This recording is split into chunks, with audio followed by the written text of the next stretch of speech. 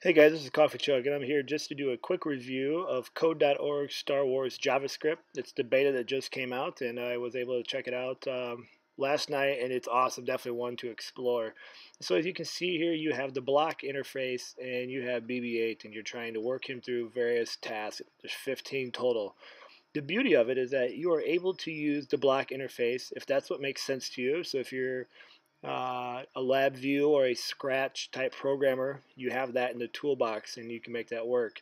As you're looking here now, you can also switch to text, which then converts the block into JavaScript, and you're able then to take a look at that and see how it actually would program into that JavaScript uh, formats if you're trying to merge away from a, a block programming into line by line coding.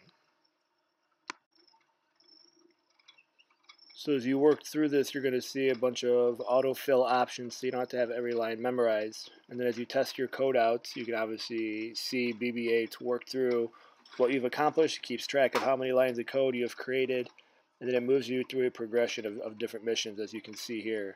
Um, and so this particular one here, you can see that now I'm just keeping it in, in block mode, um, as opposed to the text conversion in the JavaScript. And so you have a task, it'll give you at the end of each mission, as you move into the next new one, it'll tell you what you need to do. And so this one here is obviously trying to grab these pieces. If you were to get it incorrect, it'll have you go back and, and try it again. And you just work through a series of these progressions. Um, as you go through, I didn't show these here, but there are a couple videos that do pop up, um, and they're very, very good. Um, great ideas and insights, and it's just really cool to hear from people who actually use decoding uh, for a living, doing some really amazing things. And so here in this last one, you can see that it just kind of advances as you go through, starting to move from not just moving up and down, but moving into functions and other types of programming as you make your way through. And so in this particular one, trying to obviously go through and control with the event option that you can use in JavaScript. And so as you go through these things, there's 15. Um, it took me about 45 minutes to complete, so depending on your familiarity with JavaScript and code.org, um, it's going to be up to you. What, what you can see here is as you go through um, a variety of things, as you go to each mission, you get more options that you're trying to do and explore.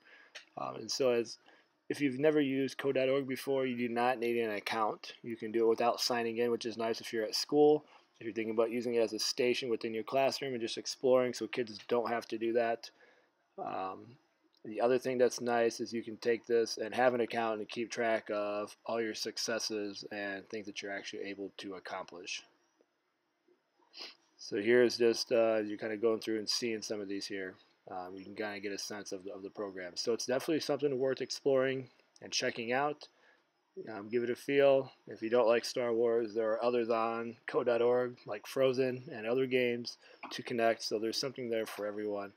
And um, just really can't emphasize enough to join and get part of the initiative of Hour of Code. Get your kids, get yourself on code.org and learn some basic programming skills because it is definitely worth your time. And then when you're done, you get a beautiful certificate showing that you have completed the challenges. So there it is. Highly recommended by Coffee Chug. Go check it out now.